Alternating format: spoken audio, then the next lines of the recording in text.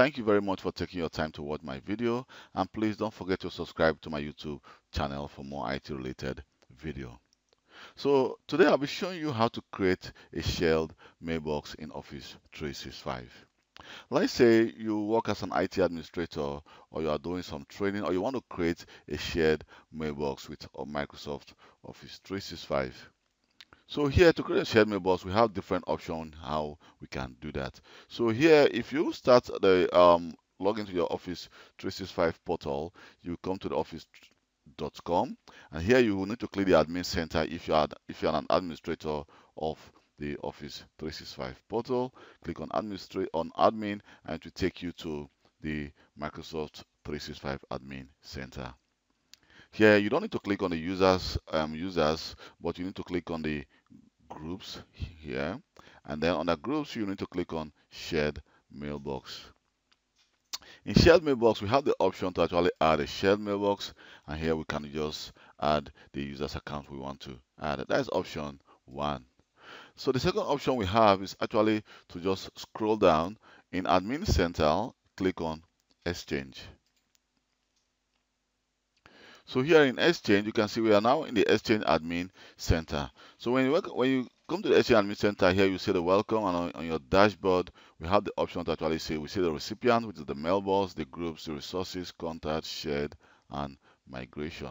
So if I click on the recipient as well, I still have the same. So here we can see we have the mailbox, I also have the shared mailbox. So if I click on the shared, I can decide to click the plus sign, which is new. And here also also have the option to actually create a shared mailbox.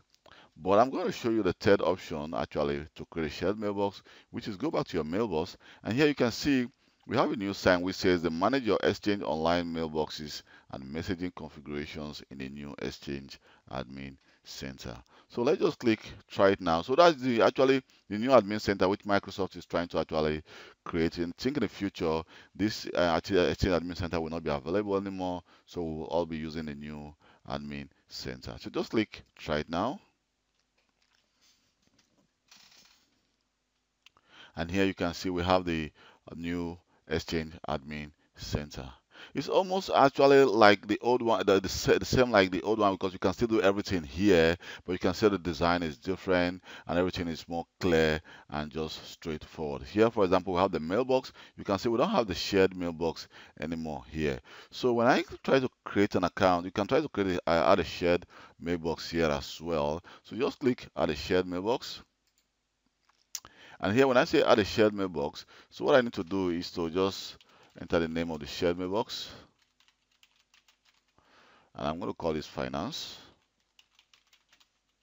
um, so here you can select the domain. For example you have like different domain um, in your environment. So you can select you have I have just one domain which I registered um, which, which is a registered domain. And this one the priority on Microsoft is the one you use to create your Microsoft account. So I'm going to select this registered domain. And then you can as well click create an alias for this um, shared mailbox. But I'm going to leave it the way it is right now and just click create so you see the mailbox has been created. So it goes very fast actually to create the shared mailbox. So we can set, decide to add users to this mailbox but let me just click close. And also you can see during the creation of the uh, mailbox I don't have the option to actually add a password because a shared mailbox does not have need a password because the users cannot actually log in with a shared mailbox so if I click on the shared mailbox we just created so here we can see we have some option the mailbox and we also have the account so under the mailbox we have some options to actually manage the email address type we can manage the mail flow settings. So we can actually have the, the mailbox permission that grant users access to this mailbox. We can as well convert this mailbox to a regular uh, mailbox, which becomes a regular account. But what we need to do is to add users to this mailbox. We just click on manage. And here you see we can decide to add users to actually read and manage this mailbox as if they're the owner of the mailbox. Or we can as well um, grant a user the send as um, access to this mailbox, which means the user will be able to send mail and emails on behalf of this mailbox when they log in to their account. So what I'm going to do is I'm going to click edit And here I'm going to add a user to this mailbox, which is well, so all the users um, in your environment will be listed here. So if you work in an um, in a big environment, you may have thousands of users. So you just need to type in the user's first name, and it's going to appear here. So I'm just going to select Nora Johnson. Click Save. Right now, right now, Nora has been have been added successfully. So just click Close, and let me close this again. You can see it's been loading.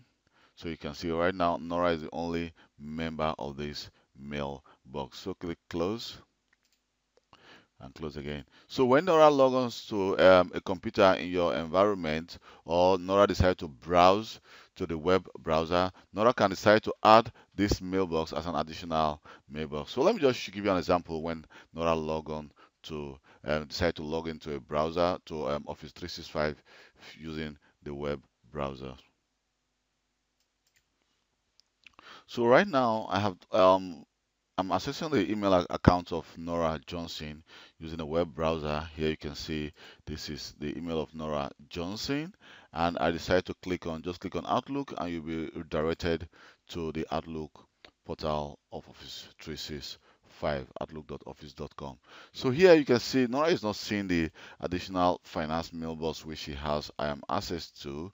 So for Nora to actually um, access that mailbox, what she needs to do is via the web browser is to click on this account man manager for Nora Johnson and open another mailbox. So I'm just going to search for the mailbox. You can just type the first three letter of the mailbox and here you can see it's going to pop up um, for Nora. So just select the mailbox and click open.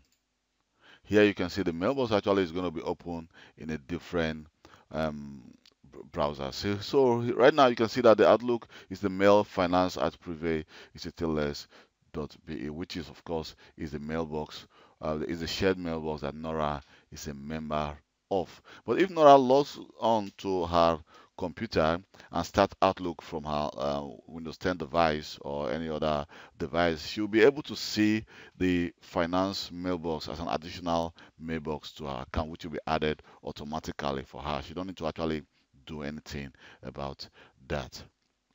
So thank you very much for taking your time to watch this video. I hope this um, video is very clear to you on how to create a share mailbox, add users to a share mailbox, and even using the browser to actually browse a shared mailbox. Thank you very much for taking your time to watch this video. My name is Kelvin Johnson, and please don't forget to subscribe to this YouTube channel for more IT related video, and give me a thumb up for taking my time to create this video. Thank you very much and see you next time.